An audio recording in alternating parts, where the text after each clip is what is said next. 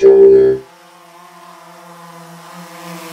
what's up, droners? B here, and today I want to talk to you guys about drone batteries. Specifically, today we're going to talk about phantom drone batteries, but a lot of what we're going to talk about is for all drones in general. So let's get into it. All right, so this all came about because I had been asked by someone, how do you know when it's time to dispose of your batteries or get rid of them. And then the secondary side of that was also like, how do I get rid of them? Where do I put them? What do I do? So those are really good questions. Um, so obviously there's a lot of different types of drone batteries, but the main ones are always LiPo batteries. These are the ones you're not supposed to put under an airplane because they're very temperature sensitive. Um, but these are also the batteries most commonly used in most drones. I did a whole separate video you guys can check out about the, the health and the care of those batteries. But what we're gonna talk about today is knowing when it's pretty much getting to the end of a life of one of these batteries. What is the 80% rule of a drone battery? It pretty much says that after your drone no longer has 80% or holds 80% of the original charge when you first got it, then it's probably about time to replace it. First of all, LiPo batteries have cells, and each one of those cells is gonna tell you the individual voltage of that cell for each cell. So you have to make sure that a couple things. Number one, those cells are always pretty similar in fill. So you don't want to see like one cell is like super full, one cell is super low. That is a huge bad, that is a big no-no. That's not what you want.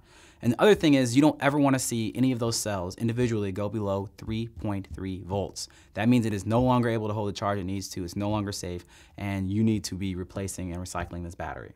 Now, specifically speaking with a Phantom 4 battery, you're looking at about 4.2, 4.25, 4.26 volts per cell, which overall brings you to a little bit over 17 volts for the entire battery. Now, you're gonna know all this by going into the battery menu on your DJI Go 4 app, which is even easier to get into because you can actually set it to one of your back buttons, the C1 or C2, and it'll tell you what the voltage is as soon as you turn it on after you charge it fully. Another fun thing that'll tell you is how many cycles the battery has. It's on the right, it says times charge. That's your cycles.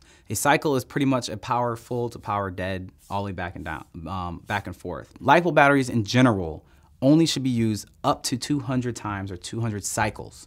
So if you're over 200 cycles and you're looking at your battery percentage is getting below 80% of that 4.25 or 4.26 voltage after it's fully charged, it's time to recycle it. 80% of a fully charged Phantom battery cell, each individual cell, is about 3.4 volts because obviously the full one, like I said before, is 4.25 or 4.26 volts. When you're looking at the voltage of the full battery, you're looking for it to be, when it's completely full and healthy, is around 17 volts.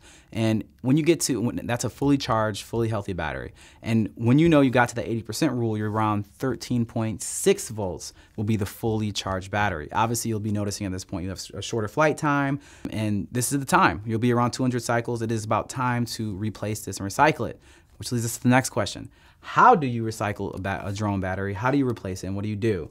Now I found there's two different ways to really do it. First of all, the first one you can do is you can find a battery center. There's a lot of different kind of ones. Like the best one that I've been able to find is like a battery plus. It's a a, it is just a store that sells batteries, but they also recycle batteries. This would be a great place. They know exactly where they're talking about batteries because that's all they do. So if you take your old batteries to them, they're gonna they're gonna dispose of it responsibly. I've heard that Lowe's also takes batteries. Sometimes they know what they're talking about, sometimes they don't. The big problem with lipo batteries is that they're flammable. If you puncture a lipo battery, then it's a very high probability that it's going to catch on fire. And after that fire gets put out, after it releases all that energy, then it's pretty much harmless for the most part. Environmentally, it could still be an issue, so you, you need to, correctly dispose of it in a Lowe's or a Battery Plus after that fire would occur. But that makes it way less volatile, obviously, after you already burn it up. I've even seen some forums where people are saying, you know, when you're done with the battery, what you should do is take it out to a place, dig a hole, you know, put a couple bullets in it, let it like pretty much let it like let the fire go, and then take those to like a Lowe's or a Battery Plus. I don't recommend that. I would say uh, instead of puncturing it yourself, take it to the pros at a Battery Plus and have them dispose of it. And that is the most safe, the most uh, effective, and the most responsible way to get rid of your old batteries. One thing, if you're like, well, what about my Inspire? What about my Mavic? What about that? All these things are really, really easy to find. If you have those questions, go ahead and get at me in the comments and I'll let you guys know. Um, but what you should be aware of as a drone pilot is your battery cycles. How many cycles have your batteries gone through? What is your total voltage for each battery? And what does 80% of that charge look like so that you can monitor your battery health so you can stay safe, keep everyone else around you safe, and continue to have fun and obviously stay fly.